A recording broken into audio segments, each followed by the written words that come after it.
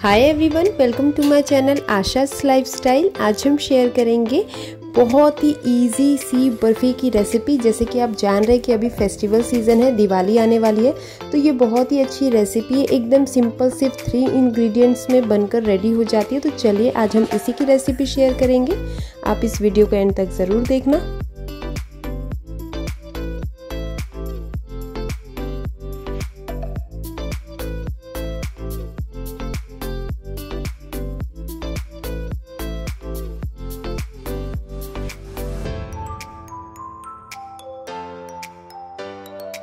तो सबसे पहले हम लेंगे एक कढ़ाई में दो बड़ी चम्मच घी मतलब घी अगर आपको ज़्यादा लगता है तो आप ज़्यादा भी ले सकते हो। उसके बाद हम डाल देंगे एक कप मैदा और मैदा को एक बार अच्छे से मिक्स कर लेंगे और चार से पाँच मिनट तक हमें इसे अच्छे से भूनना है।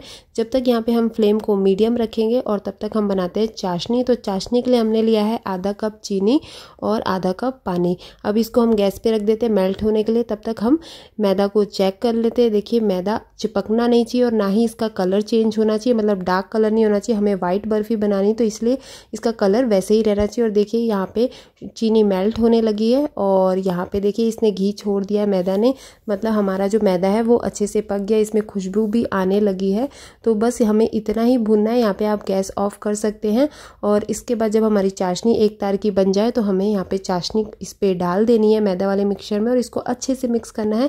जब तक कढ़ाई गर्म रहेगी, तब तक आपकी इसको अच्छे से मिक्स करके इसके जो मिक्सचर को है, गाढ़ा कर लेना है, ताकि जब हम बर्फ़ी सेट कर सके इसके अच्छी से। तो ये देखिए, ये थोड़ा गाढ़ा हो गया तो बस अब हम इसको ट्रांसफ़र कर देंगे।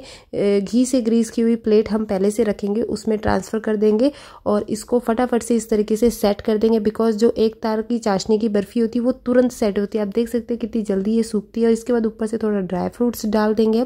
तो मैंने यहाँ पे पिस्ता डाला है और इसको अच्छे से सेट होने के बाद हम इसको पीस में कट कर लेंगे और बस यहाँ पे हमारी अच्छी सी फटाफट तीन रेसिपी वाली हमारी बर्फ़ी बनकर तैयार हो गई है। आप इसे ज़रूर ट्राई कीजिएगा। बहुत ही डिलीशियस बनती है, बहुत ही अच्छी और बहुत ही झटपट बनकर तैयार हो जाती है।